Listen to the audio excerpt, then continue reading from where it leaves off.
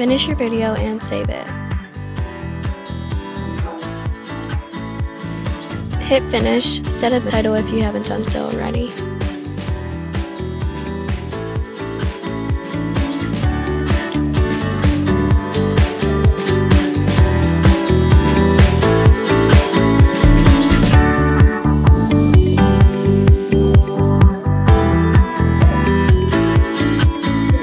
You want to make sure your video is in HD. Press the drive button so your video will be saved in your folder.